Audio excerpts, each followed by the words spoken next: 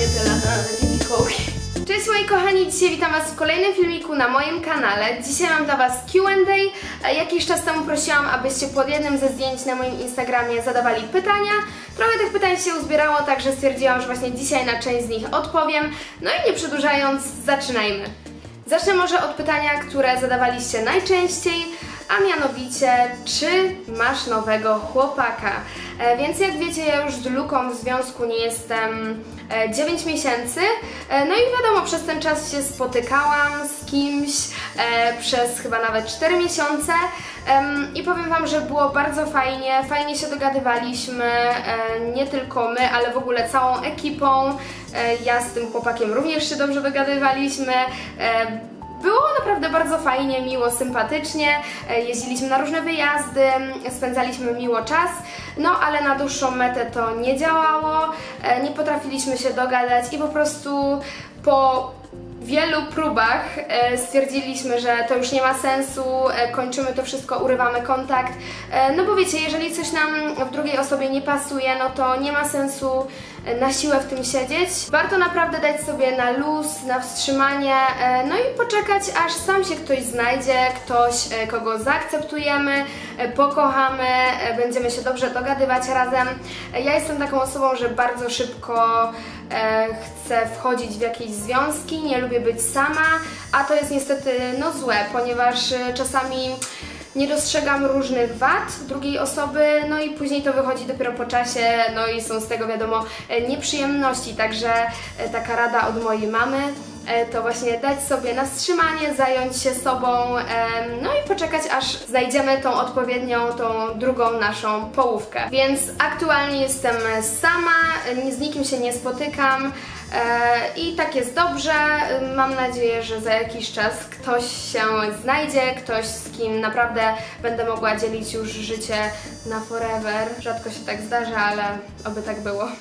Następne pytanie to pytanie, które również cały czas mi zadajecie. E, czy myślałam o tym, żeby wrócić do Luki i czy mam z nim jakiś kontakt?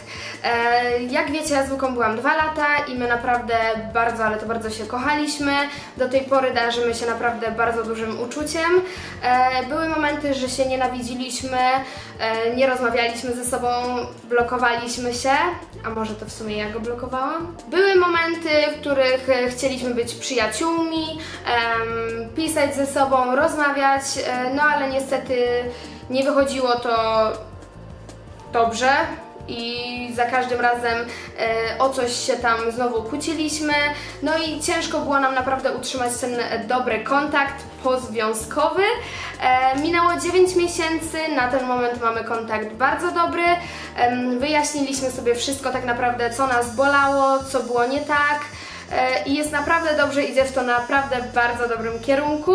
Jeżeli chodzi o pytanie, czy myśleliśmy, aby do siebie wrócić, to z mojej strony mm, na początku ja w ogóle nie widziałam e, takiej opcji, żebyśmy mogli kiedyś jeszcze być razem. E, później e, z czasem to się zmieniało. E, wiadomo, zapominałam o jakichś tam kłótniach, e, o wszystkich złych momentach, a myślałam tylko o tych dobrych. E, ostatnio sobie wszystko wyjaśniliśmy, mamy naprawdę teraz bardzo dobry kontakt. Życie jest naprawdę tak przewrotne, że potrafiliśmy się nienawidzieć, kochać, nie odzywać, później znowu odzywać, ale nie wiadomo co za może parę miesięcy, parę lat nam odbije, e, także mm, to jest odpowiedź na Wasze pytanie. Następne pytanie to, czy będę teraz podróżować? E, No i na tą chwilę muszę Wam powiedzieć, że jestem trochę już tym zmęczona. Ja wiem, że latając na wakacje nic się tak naprawdę nie robi, e, odpoczywamy, zwiedzamy, ale powiem Wam, że w momencie, kiedy te podróże są co miesiąc, co drugi miesiąc, to mm, nie cieszymy się z tego aż tak bardzo. Nie, po jakimś czasie powiem że nie miałam takiej radochy, jak zawsze latałam i mówiłam, Boże, wakacje!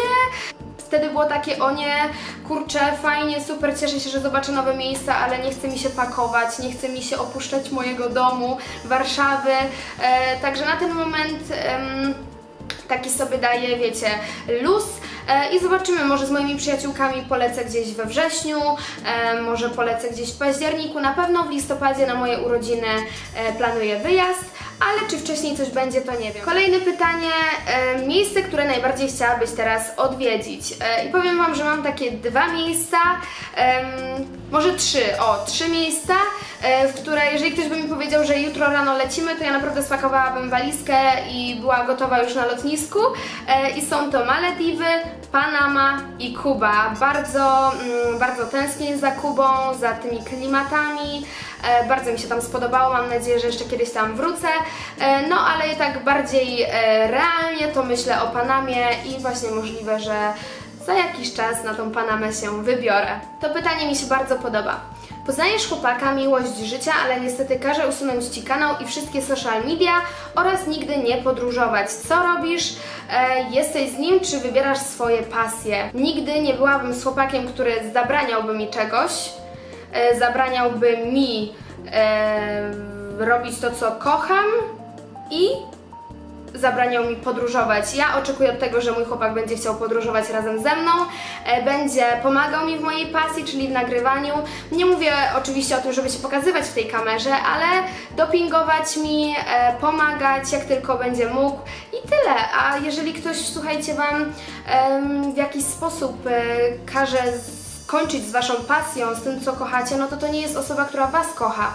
Bo jeżeli wy coś kochacie i chcecie to robić, a wasza druga połówka mówi, wiadomo, wszystko w granicach rozsądku, jeżeli coś jest durne i ta dru druga wasza połówka mówi wam, nie rób tego, bo to jest głupie, nie rób tego, bo to ci może w jakiś sposób zaszkodzić, no to rozumiem, ale jeżeli jest to pasja, którą widzi, że dzięki której się rozwijasz, kochasz to, co robisz, yy, kochasz podróżować, no to niestety, ale wiedz, że coś się dzieje i czas zmienić chłopaka. Czy myślałaś kiedyś nad zmianą koloru włosów e, na ciemny i na krótkie włosy?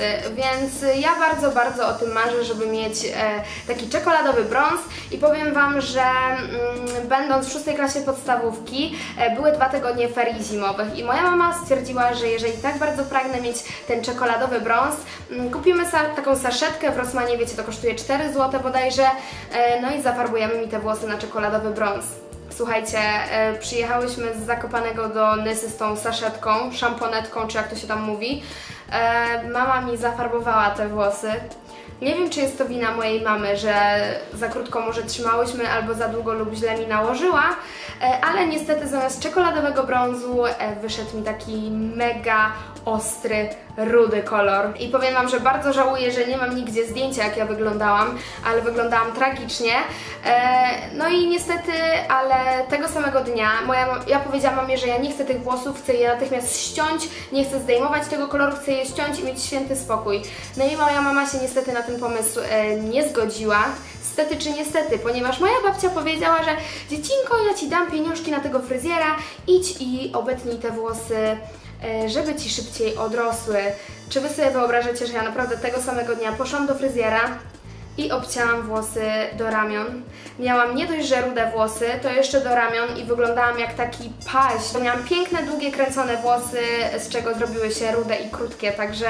Mm, Krótkie włosy miałam, krótkich włosów już raczej bym nie chciała, e, natomiast fakt faktem planuję na zimę zrobić sobie czekoladowy brąz. Nie wiem jak będę wyglądać, jeżeli będę wyglądać tragicznie to zmienię z powrotem na blond, e, ale jest to takie moje marzenie od dziecka, żeby ten czekoladowy brąz e, na włosach mieć, także może w tym roku się skuszę, no i zobaczę, jeżeli będzie mi dobrze to w nim zostanę, a jeżeli nie to zmienię. Taka historia z dzieciństwa. Do tej pory się z niej śmiejemy, że wyglądałam tak tragicznie.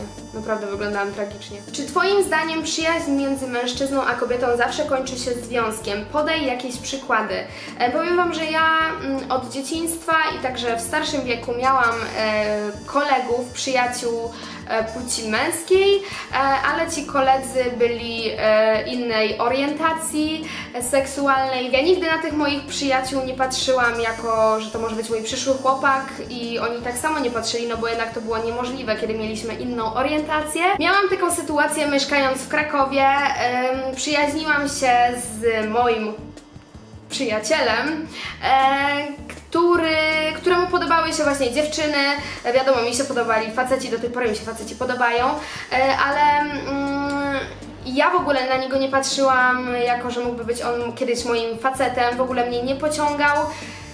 Natomiast z czasem ja zaczęłam mu się podobać w inny sposób, nie tylko jako przyjaciółka, ale jako materiał na dziewczynę. I któregoś dnia, będąc na imprezie, po imprezie odprowadził mnie i moje koleżanki do mojego mieszkania, ponieważ u mnie spały i on też chciał spać z nami, e, ale nie chciał spać, tylko no domyślcie się, po prostu e, on już chciał czegoś innego, a ja dalej patrzyłam na niego jako na mojego przyjaciela, z którego nawet bym nie potrafiła pocałować ani nic z nim zrobić, także y, no niestety, ale nasze drogi się rozeszły, ja się wyprowadziłam do Warszawy, zerwaliśmy ze sobą kontakt, mamy naprawdę kontakt bardzo sporadyczny, cześć, co tam, wszystko ok, co u Ciebie słychać, bla bla bla, koniec. Znam takie przypadki, kiedy ludzie się przyjaźnią, ja sama mogę powiedzieć, że mam wielu kolegów, z którymi nie wyobrażam sobie być, ale to są moi koledzy. To są moi koledzy, którzy mają dziewczyny, to są koledzy, którzy są tylko moimi kolegami, natomiast nie mam takiej więzi przyjacielskiej z żadnym facetem na ten moment. Ja jestem tego zdania, że nawet przyjaźniąc się z facetem, po jakimś czasie albo to my się mu bardziej zaczniemy podobać, albo on nam. Nie jest to na pewno dobre, ponieważ rzadko kiedy jest tak, żeby te dwie połówki, wiecie, się jakoś sobie tam zakochały, zauroczyły. Zazwyczaj jest to tak, że jedna jedna e, połówka w drugiej, a ta druga dalej traktuje e, tego przyjaciela jako przyjaciela i to jest bardzo wtedy niestety, ale krzywdzące dla drugiej osoby. Myślę, że jednak w większości przypadków to się nie sprawdza, a jeżeli się to komuś udaje, no to gratuluję i życzę dalszej takiej relacji. Następne pytanie jest od mojej e, takiej, słuchajcie, obserwatorki, która komentuje mi każde zdjęcie, jest ze mną cały czas, złote marzenia. E, no i pytanie jest takie, jakie marzenia chcesz jeszcze zrealizować, w jaki sposób poznałaś Domi, e, macie jakieś wspólne zainteresowania z Domi, pozdrowienia, pozdrowienia kochana. Również pozdrawiam, zacznę może od Domi. Z Domi poznałam się w pierwszej klasie technikum. W momencie, kiedy się przeprowadziłam do Warszawy, mm, poszłam do nowej szkoły, poznałam Domcie, na początku byłyśmy w wiecie jak to się dzieje, w, zawsze się w klasie tworzą jakieś grupki. E, no i ja nie byłam w tej grupce, co była Domi, ale po jakimś czasie wyszłyśmy na miasto z taką jeszcze jedną e, koleżanką, no i nagle zrobiła się inna grupka, w której byłyśmy my. Przyjaźnimy się już 6 e, lat. Miałyśmy chwilową przerwę, było to spowodowane po prostu niewyjaśnieniem sobie pewnych sytuacji. I teraz z powrotem się przyjaźnimy, jest to moja domcia, traktujemy jak siostrę, bardzo się kochamy, mamy wiele wspólnego, zachowujemy się zawsze tak samo. Z Domi miałyśmy wiele, wiele śmiesznych przeżyć, historii, sytuacji i dlatego właśnie postanowiłam, że razem z nią e, nagram osobny filmik e, Best Friends Tak i tam Wam wszystko opowiemy. E, także tutaj się nad Domcią dłużej rozgadywać nie będę. Jeżeli chodzi o moje marzenia, to bardzo bym chciała, aby ten kanał na YouTubie bardzo się rozwinął, e, żeby szedł w górę, żeby miała bardzo dużo widzów, e, świetne filmy. To jest jedno z moich marzeń. Drugie marzenie to jest żebym w końcu mogła sobie sama kupić mieszkanie, e, urządzić po swojemu, mieszkać tam i się nim cieszyć. Jednak każdy dąży do tego, aby te swoje mieszkanie posiadać i ja również, jest to moje takie marzenie, które mam nadzieję, że za jakiś czas zrealizuję.